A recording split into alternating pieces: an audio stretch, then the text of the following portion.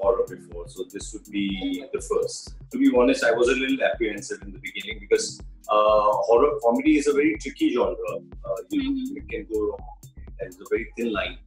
So, uh, but I'm I- eventually when when- when the scripts were ready, we sat with the writers. I had a few inputs which I thought would help. Uh, so and they were kind enough to accommodate them. So eventually we, we we read the scripts and we really liked them. They were entertaining, they were funny. Uh, they had a you know there, there is a theme going on. It's not just horror where ghosts come and scare you.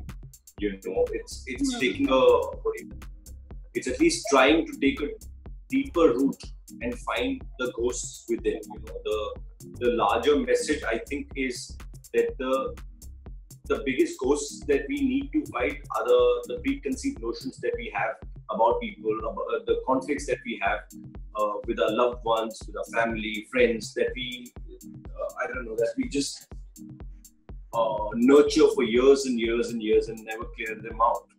They're the biggest ghosts. So once we are able to fight those ghosts, we'll be able to fight any ghosts.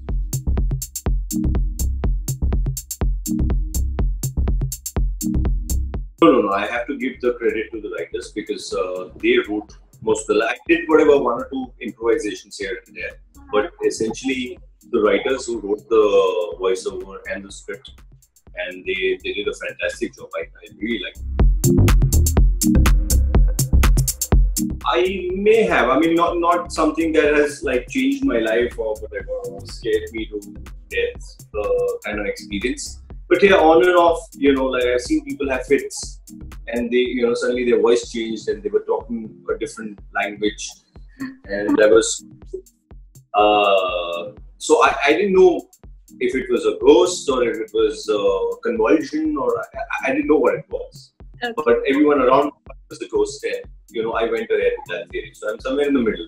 I don't want to say there are no ghosts because I don't want to wake up in my bedroom and see my legs are tied or something like that. I don't want to upset ghosts. Okay. And I don't become this person who's always thinking about these uh, surreal experiences. I'm not chasing them either. I saw Stree. I quite liked it. I think it was very nice. It was scary when it had to be, funny when it had to be. I think It was very well performed.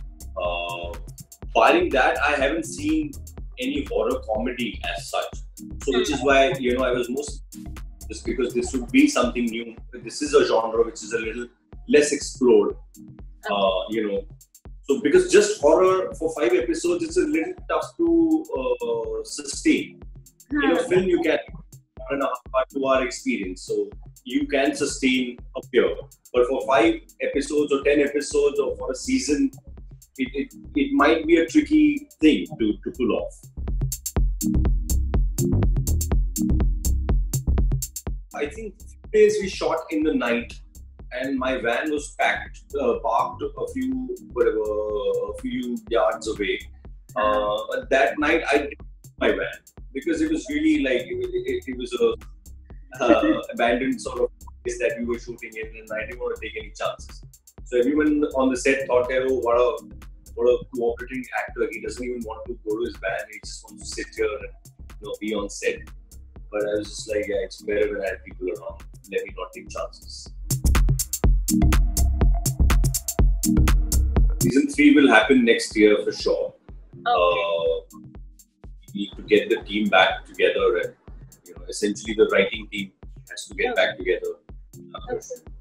hopefully, uh, be a new season soon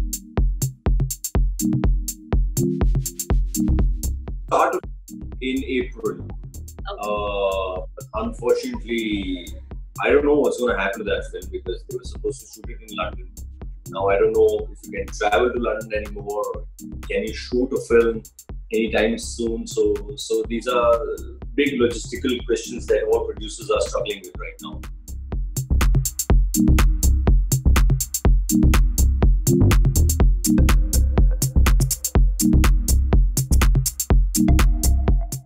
it's a good thing. Uh, I, I won't say it's a good thing, but बुरे में अच्छा ये है कि I got to spend all this time at home. I got to Hmm. spend all this time Hmm. uh, which generally I'm not able to because I'm working traveling most of the times. So so this is the time that that we got to spend together. So I'm I'm grateful in that sense. Uh, and yeah, I mean, the, you know, because the essential services are open, medical stores are open, so we're able to uh, sort of gather all the essentials that you might need uh, once the baby arrives. Uh, some people are delivering baby products, so Ekta has been very, you know, hands-on with that. She's, she's very well prepared. Let me just say that.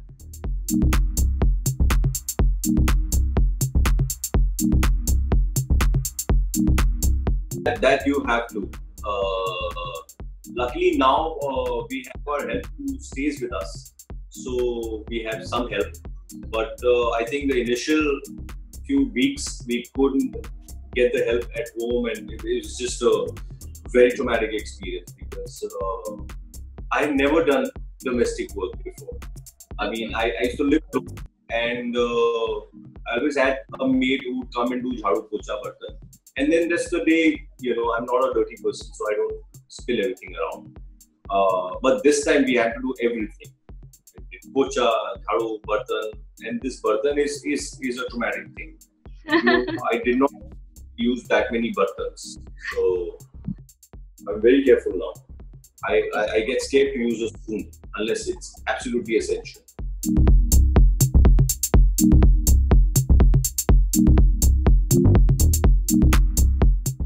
I mean, cooking, yeah, a little bit of cooking I did do. Uh, I, I never tried baking or cooking for that matter. Uh, eggs is the only thing that I would make before this.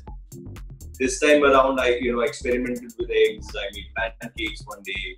Uh, I, I made different kinds of salads. So all that I've been doing. But my cooking has been more continental. I've not done, I've not gone the Indian recipe route, the masala, the curry route. Mm-hmm. I don't think you.